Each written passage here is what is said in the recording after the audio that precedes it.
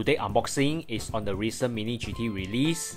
The Nissan Skyline GT-R Group A in Calsonic Racing Team, they all look identical, but they have some variation in terms of livery. These are the Skyline that range from 1990 to 1993, so far in total, and now it's complete. I recently reviewed the 1993 Skyline Group A. It's a fantastic car. At the mid-price range, I'm very impressed with the details. And of course, being a popular car, Mini GT will no doubt roast out a lot of variation.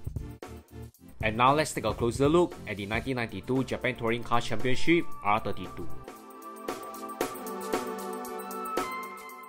First impression, it looks totally identical, with just a different variation in the livery. I can see the Idemitsu sponsors logo which is small, but yet it's very sharp the liveries are very legible in the consistent Calsonic blue for all the casting.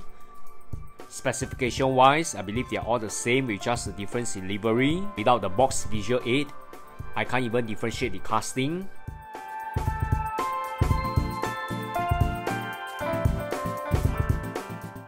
Next, the 1991 Japan Car Touring Championship R32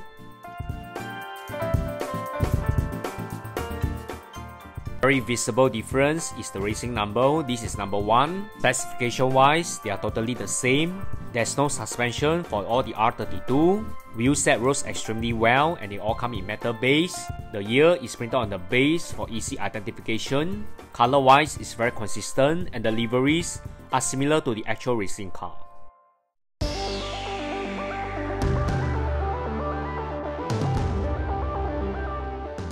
Lastly, the 1990 Japan Touring Car Championship. I already got to spot the difference between all the forecasting.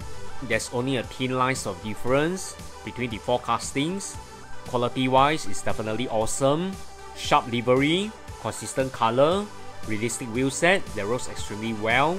And the racing car series is definitely popular with collectors. Metal base without the year printed for this 1990 what the rest have and overall they looks perfect as a complete set and these are the True Blue Calsonic racing team that's beautifully replicated by Mini GT. Stay tuned for more Mini GT unboxing and remember to like, share and subscribe to this channel. Thanks everyone, bye!